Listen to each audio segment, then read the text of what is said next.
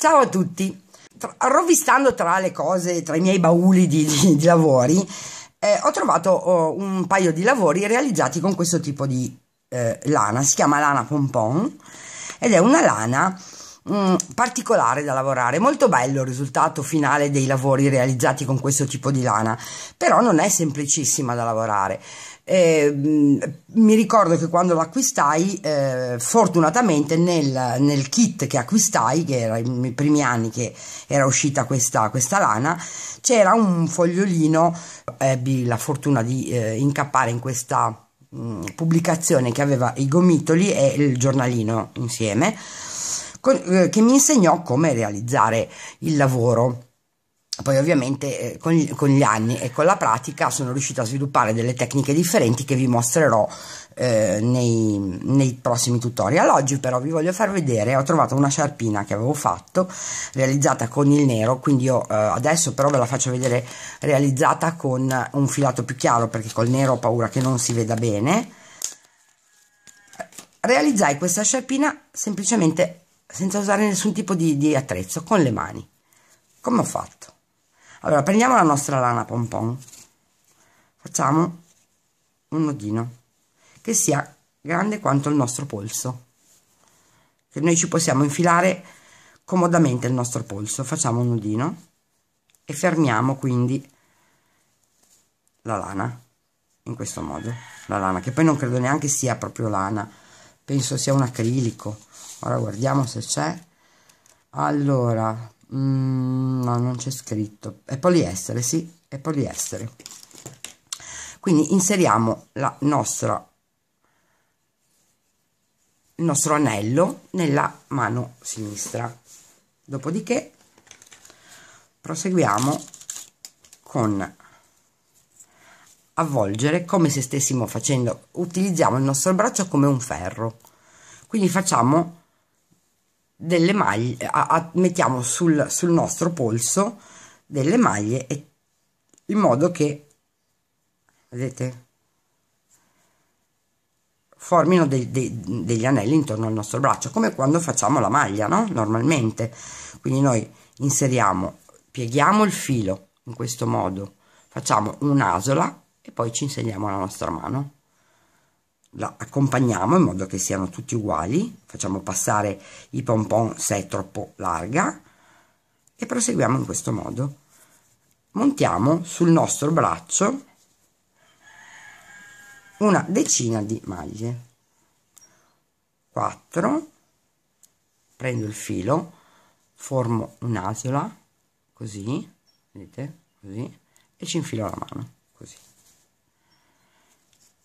prendo il filo formo un'asola e ci infilo la mano. E accompagno in modo che sotto siano tutte uguali. Prendo il filo formo un'asola e ci infilo la mano. Così. Ecco l'unica cosa alla quale dobbiamo stare attenti è che non si accavallino. Quindi teniamoli belli distanziati controlliamo ecco io adesso ne ho messe su 6 7 adesso prendo con la mano e tengo il filo l'ultimo dell'ultimo anellino che ho montato. Tengo il filo faccio prendo il filo di sopra e lo faccio cadere e inserisco l'anello che mi si è formato nella, nel, nella mano sinistra. Faccio la stessa cosa.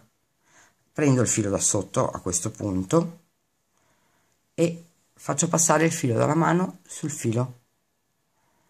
Prendo il filo e lo inserisco nella, nella mano destra, sinistra scusate. In questo modo. Raccolgo il filo da sotto.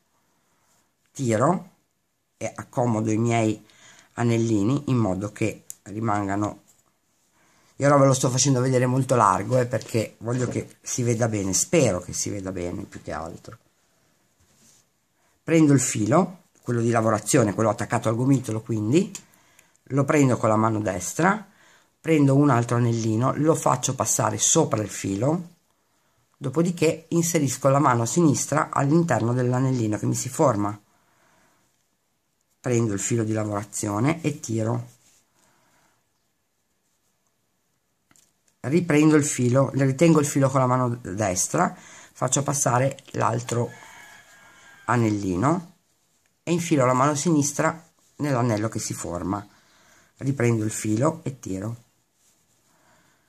Dopodiché continuo tengo il filo di, mm, attaccato al gomitolo con la mano destra e ci faccio passare sopra l'altro anellino che ho nel braccio e inserisco la mano nel cerchietto appena formato. Tiro quindi accomodo i punti accomodo scusate i, i fili che ho sulla mano sinistra prendo il filo tengo il filo sulla mano destra quello attaccato al gomitolo prendo un altro anellino dalla mano destra lo faccio passare attorno al filo così mi si forma un anellino e in questo anellino io inserisco la mano sinistra. Riprendo il filo di lavorazione tiro accomodo il lavoro sulla mano in questo modo e faccio passare l'ultimo quindi in questo modo. E inserisco la mano nell'anellino. A questo punto con la mano sinistra faccio la stessa identica cosa. Quindi prendo il filo attaccato al gomitolo lo tengo con la mano e faccio passare il primo filo sulla lo faccio cadere.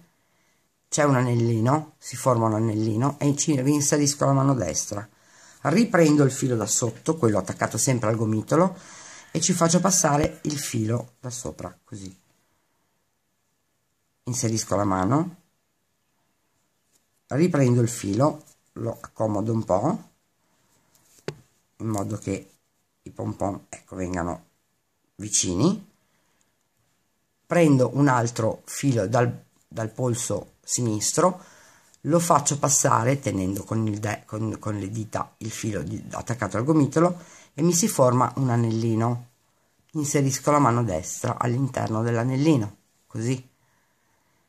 Riprendo il filo attaccato al gomitolo e lo tengo tra le dita della mano sinistra. Prendo il nuovo anellino dalla mano destra dalla mano sinistra e lo faccio cadere giù. E inserisco la mano destra all'interno dell'asola appena formata. Riprendo il filo con la mano sinistra e faccio cadere un altro punto.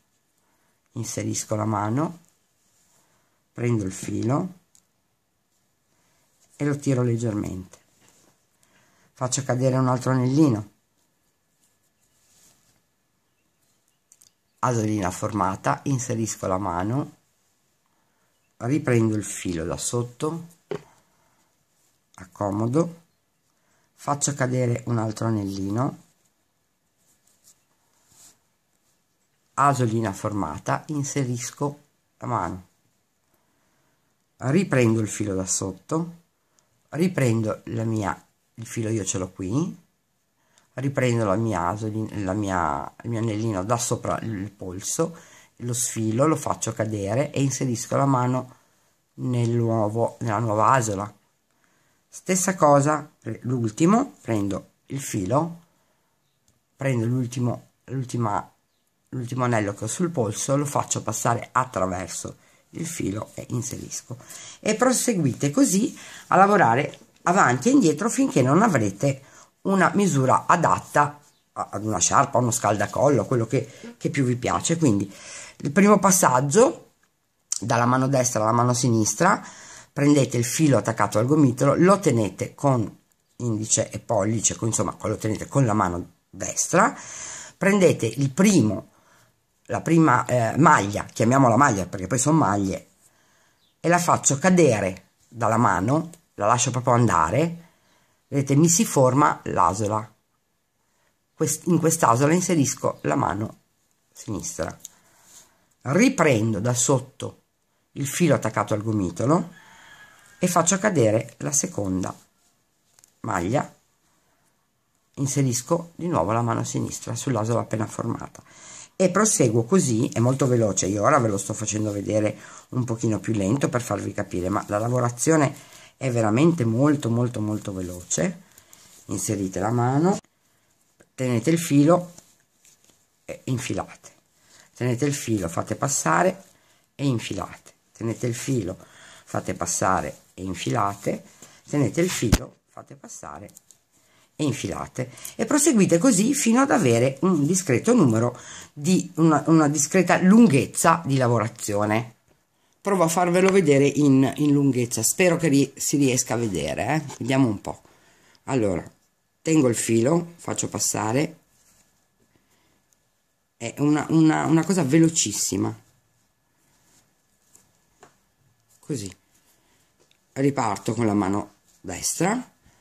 La, il primo passaggio metto il, il, tengo il filato con la mano faccio passare l'asola e la lascio andare e inserisco la mano nella nuova asolina che mi si è formata. Riprendo il filo in questo modo. Questa lavorazione non mi ricordo neanche dove la vidi la prima volta ma mi affascinò talmente tanto perché è velocissima e si realizzano delle cosine veramente simpatiche cioè ovviamente sciarpe, scialli, cose cose così, ovvio che non si può, si possono realizzare anche delle canotte estive da mettere, delle, dei copricanotte estivi da mettere con la canottiera so, sotto appunto perché ovviamente è una rete estremamente larga vedete e proseguite così fino a che non avrete raggiunto l'altezza desiderata. Continuate a lavorare la vostra maglia. Questa è completamente a mano veramente senza l'ausilio di nessun ferro. È una lavorazione simpatica mi piaceva farvela vedere. Proseguite così e con questo filato viene particolarmente bene. Poi si può fare anche con i filati grossi. Per esempio io ne, ne, ho fatto una ho fatto una sciarpina con tutti gli avanzi di cotone. È venuta una sciarpina multicolore molto simpatica. Ecco qui. Vedete quanto è veloce come lavorazione? Infilate. Così. Ecco qua è finito il filo fantastico. Vabbè prendo le ultime due maglie le faccio passare attraverso il filo poi col filo stesso rientro all'interno dei punti così. Prendo uno dei fili laterali e fisso con un nodo con un semplicissimo nodo così.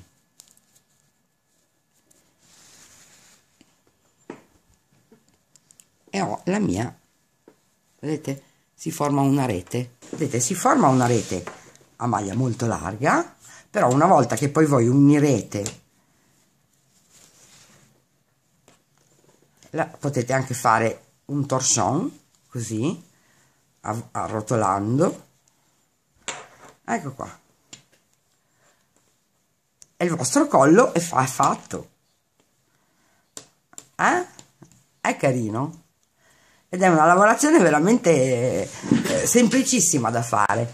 Bene, il micro tutorial è terminato, spero di avervi dato un'idea un per, per, utilizzare questo tipo di filato nel fare appunto un collo che poi si può applicare a un maglioncino ed è un filato molto caldo per, per l'inverno. Infatti mia figlia eh, lo, lo usa i miei vecchi colli perché ne avevo fatto un po' e li usa lei perché sono molto molto caldini. Bene, il tutorial è terminato, vi ringrazio per avermi seguito e ci vediamo al prossimo. Ciao ciao!